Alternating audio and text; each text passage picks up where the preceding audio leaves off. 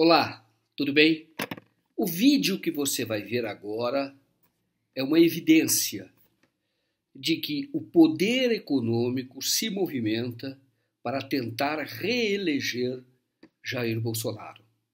São produtores rurais, pecuaristas, que realizavam um protesto em Cuiabá e, durante o intervalo, resolveram gravar um vídeo. E este vídeo já está sendo investigado pelo Ministério Público Federal. Mas vamos falar disso mais adiante. Por enquanto, veja o vídeo. Estou aqui com o André Costa e o Eduardo Vieira. Então fala aí. Ó, hoje aqui, ó, Janaína passou o recado ali. Janaína quantas, ali. Quantas arrobas de carne? Hoje 24 arrobas de carne. 24 arrobas de Arrobas carne. de carne. Hoje. Hoje. E olha, é o seguinte, para reeleger o presidente no Brasil, cada fazendeiro vai doar um boi. Um boi. Agora vocês imaginam se a gente não reelege ele no primeiro turno. Pronto. Um boi, tá fechado? Fechou, fechou. Aí, ó, um boi. Boi de 20 arroba. É isso aí. E outra coisa, ó. Ou vocês vão ficar aí igual lá na Venezuela depois comendo espetinho de cachorro e gato. Acorda, Brasil! Porra! Isso aí. É isso aí. Sem contar os porcos, as galinhas, os frangos, viu? Carneiro. Um abraço pra vocês. É isso aí. Eu conversei com um advogado é, do escritório de Alberto Rolo, aqui de São Paulo, e ele, então, disse que se a doação for declarada, contabilizada, ela é possível. Não como pessoa jurídica, porque a doação de pessoa jurídica é proibida, mas como pessoa física, isto é, os fazendeiros fazerem essa doação como pessoa física. Este foi o entendimento do advogado. De qualquer forma, esta ação combinada a outra pode sim ser objeto de investigação por abuso do poder econômico e até por propa- propaganda eleitoral antecipada. Que ação é essa? Fazendeiros do Mato Grosso do Sul, através de pessoas jurídicas, estão espalhando outdoors para defender a candidatura de Jair Bolsonaro. De novo, é propaganda eleitoral antecipada. Essas duas ações, dos dois estados, Mato Grosso do Sul e Mato Grosso, elas serão investigadas. O, eu procurei o, a Procuradoria Geral da República, a assessoria de comunicação, e fui informado de que uma representação encaminhada para a instituição, encaminhada pelo advogado Eugênio Aragão, ex-ministro da Justiça, em nome da presidente do Partido dos Trabalhadores, ela foi distribuída para a superintendência ou para o Ministério Público Federal eh, lá em Cuiabá, para que então os casos sejam investigados.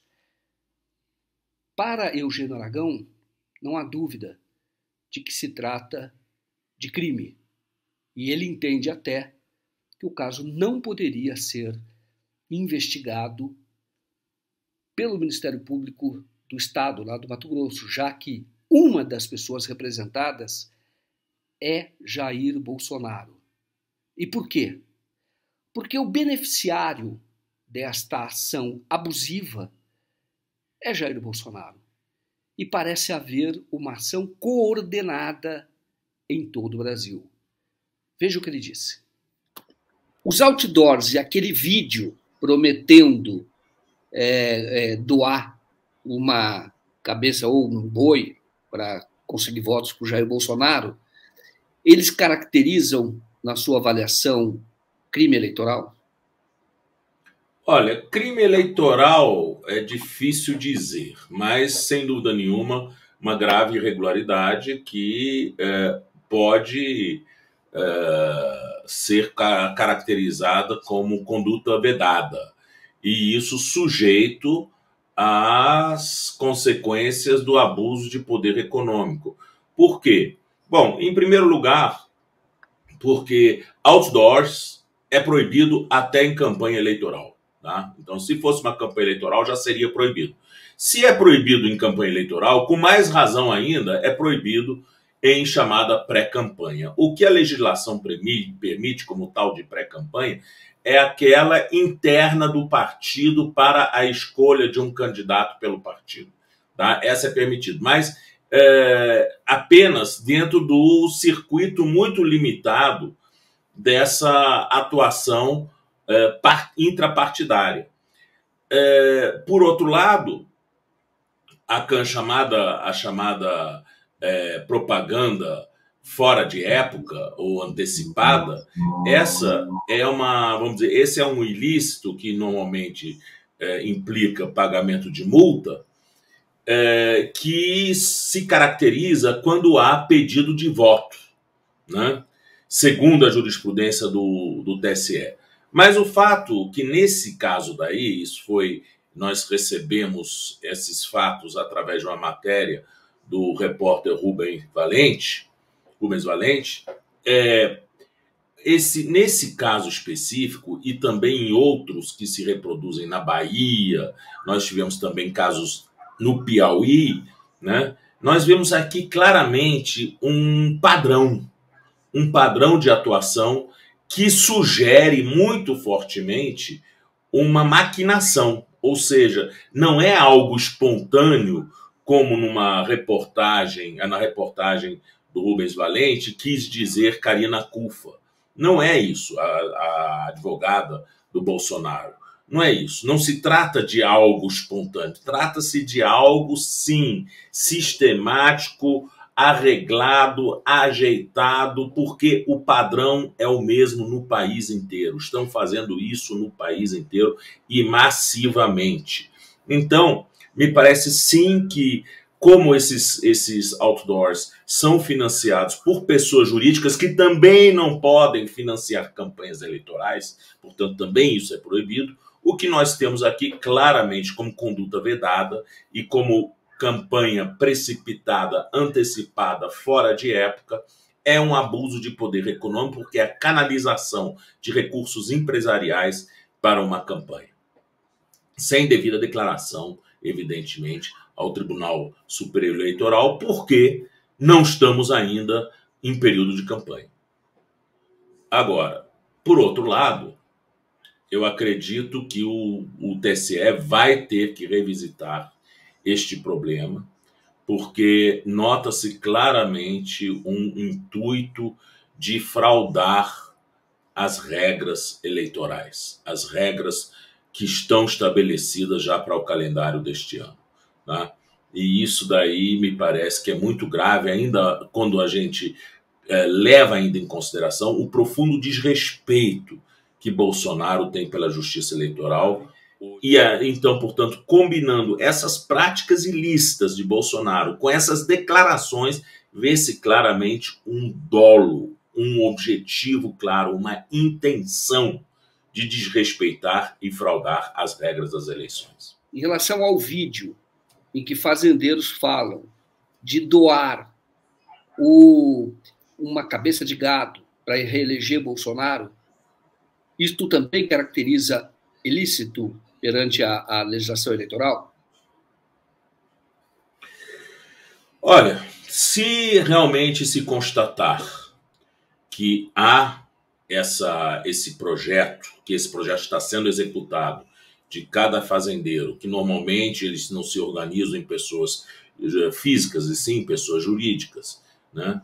Eh, são empresas agropecuárias, é isso? Se eles realmente estiveram do, estiverem doando cada um, né, um, uma cabeça de gado para a campanha, aqui nós temos um caso típico de financiamento ilícito da campanha, né? financiamento clandestino.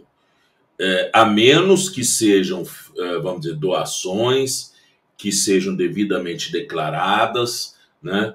É, ao candidato, portanto, com o recibo eleitoral, essa é a única forma que eles poderão fazer doação. Fazer uma campanha desse tipo, e ainda mais em período anterior à campanha oficial, é extremamente grave. Mais uma vez, confirma o dolo, a disposição, a intenção de fraudar as regras eleitorais e o uso de recursos para este efeito. Portanto, sim, é abuso de poder econômico. A investigação ou a representação foi distribuída para, para o Mato Grosso. Agora, isso significa que o Jair Bolsonaro não vai ser investigado, porque nesse caso teria que ser o próprio procurador-geral. Né?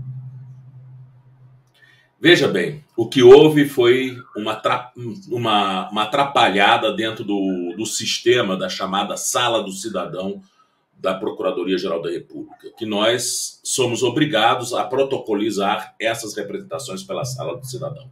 Sala do Cidadão é um dispositivo que é, é vamos dizer, que é organizado por servidores e não por procuradores. Portanto, esse encaminhamento foi um encaminhamento completamente impróprio, porque nós direcionamos a nossa petição ao Procurador-Geral Eleitoral e não a Mato Grosso ou a Bahia, como foi o outro caso, né, também de outdoor. Não foi isso que nós fizemos. Portanto, houve ali um erro do sistema que vai atrasar.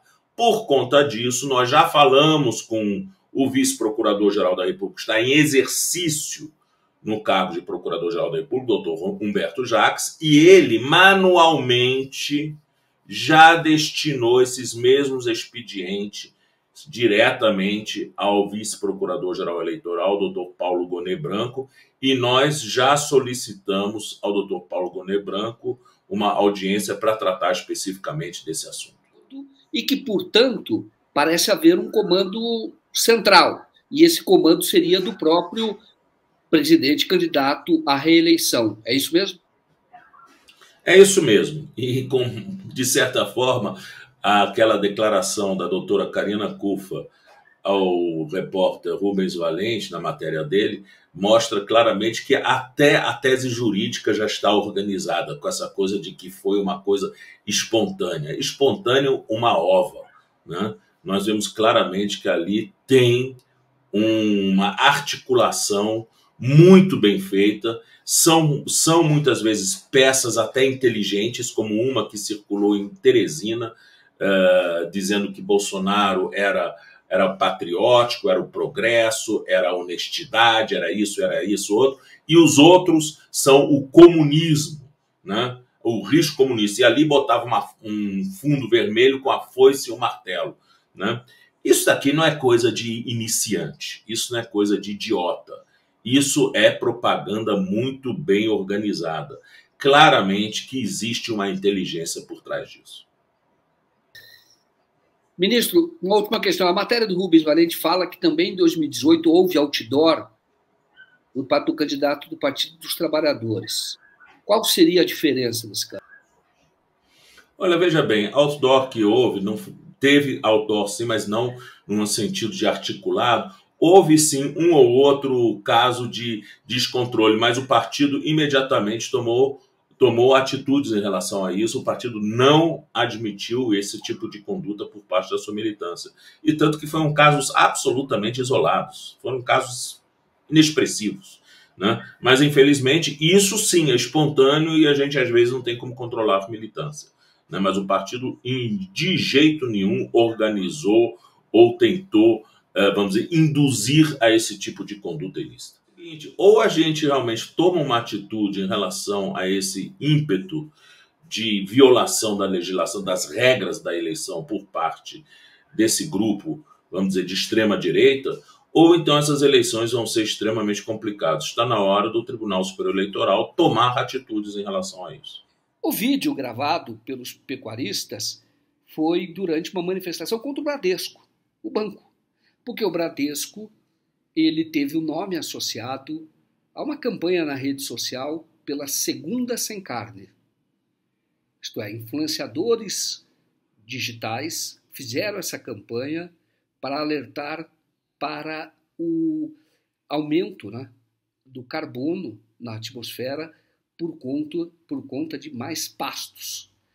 E usaram nesta campanha uma calculadora do Bradesco, que é usada ou divulgada como propaganda do banco para que as pessoas calculem é, quanto geram de carbono com sua alimentação.